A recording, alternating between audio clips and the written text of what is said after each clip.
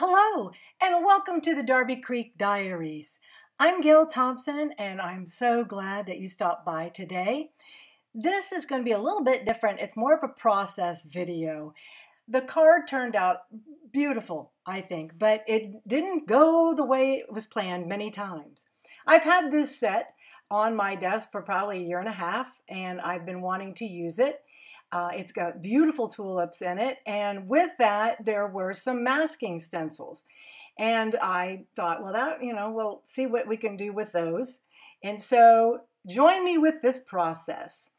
Altenew is really good about giving you some directions and samples and inspiration. And some of those uh, cards that, that are on this pack, you can cut and there it shows you how to layer everything. They're very, very good about that. But anyhow, on this pack, uh, they have some full-size cards you can imitate if you're just beginning. This is what the stencil uh, set looks like, and that's great if you want to do a background and block off your flowers or whatever. I decided to try using one of those pre-made uh, inspiration cards, and I'm just showing you how everything kind of lines up there. Now, I use a sticky mat from, this is from Amazon, and I cut it down for my MISTI. It's 11 bucks or something like that for three of these huge ones. So I think that's the best bang for your buck. So I trimmed it down to fit my MISTI. Now the back of it isn't stuck down, so I still use a little bit of uh, repositionable tape or something.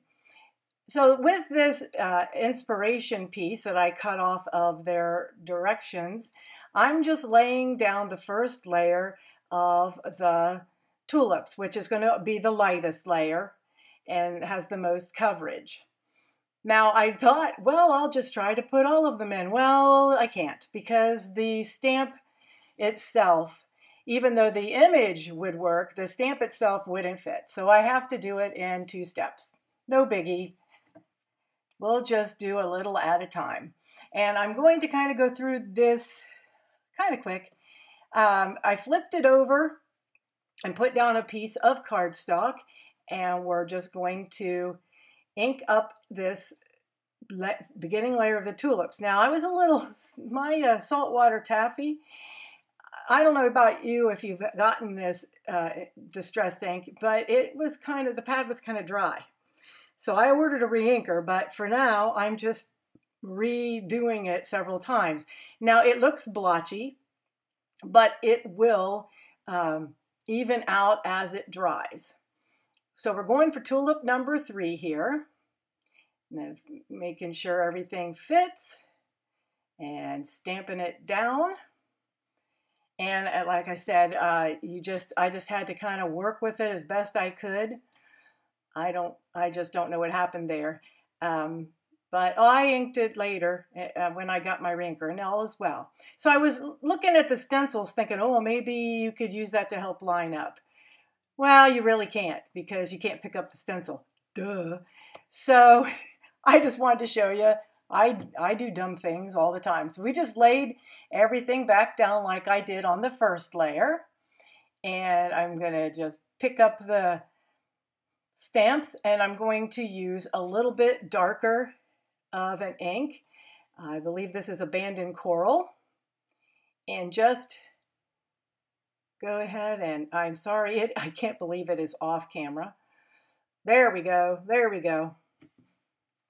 And there's layer number two. Now, if you look at layer number two carefully, you're going to see that I did that little one upside down.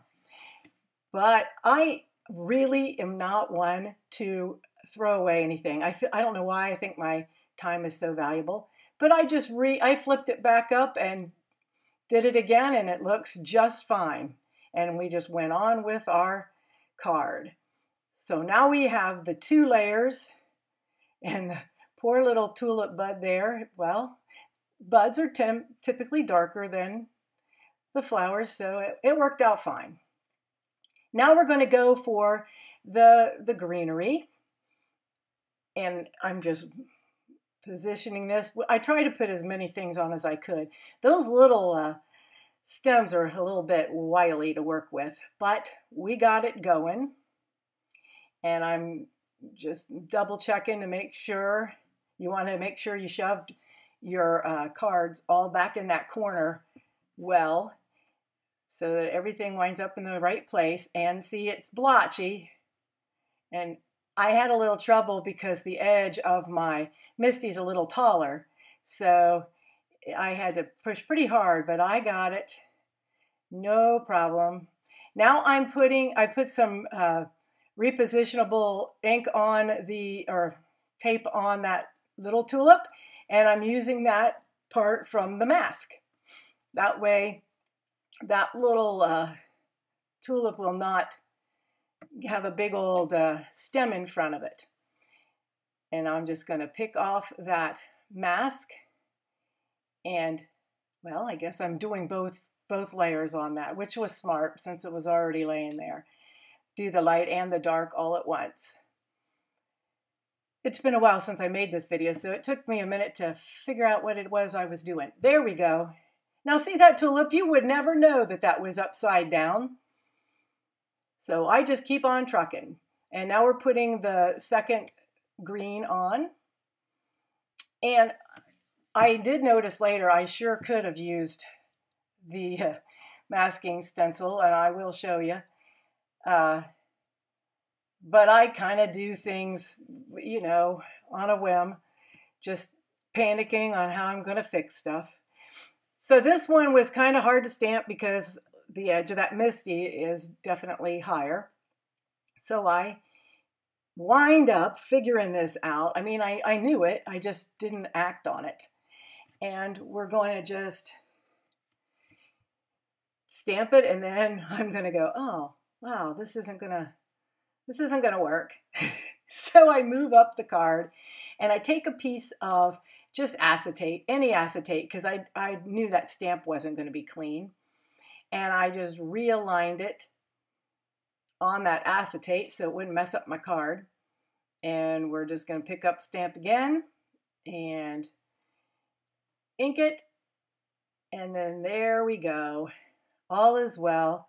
This wasn't, if you, if you remember the song Tiptoe Through the Tulips, well, this was more of a triptoe through the tulips. I just uh, kind of went from one thing to the next. Now, the second layer of the green has uh, the detail on it. And if you look on the left, you're going to see that I was off just a hair. So keep that in mind, but I'm going to finish up lining this up. And there we go. And that, that turned out pretty well. But now I've got to go over to the left little uh, leaf there. And this is a spot where I should have used the mask stencil because that would have made it a whole lot safer. I did, uh, I just, this is one of those detail sticks from Ranger. And I just kind of filled in. Um, but I have to do the edge here in a second, and I want to show you how I did that. But now we're going on to the third and final layer, um, our tulips, and the um, color is Candied Apple Distress. I used all Distress inks for this. There we go, lining it up against their original piece there. Flipping it over making sure it works, and then going ahead and getting that, made sure to get it shoved in the corner, and then doing our third layer on our tulips. Then just lining up our third tulip and doing the same thing. However, with this one, I'm off a little.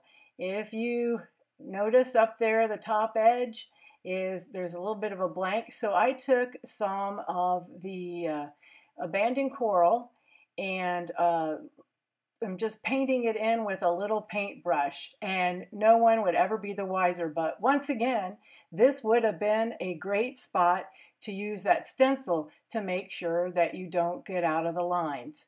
Um, down on the big green stem there at the bottom, I did get out of the lines a little bit And here I would have used the stencil again, but I kind of forgot about it. Now I'm just using a little uh, impression tool because it's got a really tiny ball on the end of it. And I'm using the ink to fill in where I missed it. Now I'm pulling it off this really sticky surface. So bend the grid because otherwise your paper is going to bend and then you'll have to flatten it all out. So bend the uh, adhesive there. And since that was even a thinner piece of cardstock, it did kind of warp, but it's fine. That's just our example. Next, I decided that I wanted to use some, some kind of a fun border. So I have the hemmed, hem stitched rectangles from Spellbinders. And for the sentiment, I used a Happy Easter die cut that I have no idea when or where I got it. So I have a similar one linked below. And the easiest way to kind of do these little tiny doodads is to put it back in the spot that you die cut and stack it there. And that keeps it everything from moving around. And then I love this glue and their little needle tool. I start and I stamped the or die cut the third layer out of gold mirror. And now I'm just laying things around seeing the lay of the land there. I decided that it was just a little plain and I didn't want to color in the whole background, uh, although you could. Uh, so I'm just flicking a little bit. You always want to flick like the secondary color that you used on the card and the third level. Well, there's no takesies backsies. I think I kind of uh, overdid that one. Also used gold leaf there. Now I am just going to layer up my card and I want a little sliver of a white border all the way around. And I always eyeball things, so I'm a little slow. And then just, I'm going to glue my top layer there. And here is our final project. I really think it turned out great, even though, yeah, maybe a little too much splatter, but hey, it's handmade, not Hallmark. I hope you enjoyed this tutorial, that you'll like and subscribe and come back and see me and follow me on all of the social media. I'd love to, to talk with you. And I'm going to leave a couple videos here until next time. Bye-bye.